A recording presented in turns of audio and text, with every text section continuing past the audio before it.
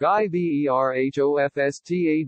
has moaned the historic Brexit trade deal between the EU and UK is less ambitious than the bloc was hoping. Today, the UK is celebrating after the Prime Minister has managed to secure a Brexit trade deal with the EU, days before the end of the transition period on December 31. Following news of the deal, MEP Guy Verhofstadt moaned the deal is less ambitious than we wanted. Mr. Verhofstadt tweeted, finally a historic and unprecedented deal in the interest of all is reached. While less ambitious than we wanted, through binding arbitration it fully preserves the single market.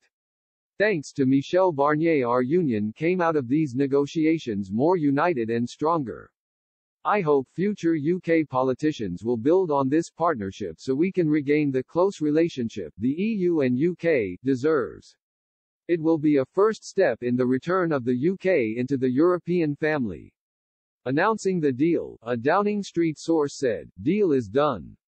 We have taken back control of our money, borders, laws, trade and our fishing waters. The deal is fantastic news for families and businesses in every part of the UK. We have signed the first free trade agreement based on zero tariffs and zero quotas that has ever been achieved with the EU. We have delivered this great deal for the entire United Kingdom in record time, and under extremely challenging conditions, which protects the integrity of our internal market and Northern Ireland's place within it.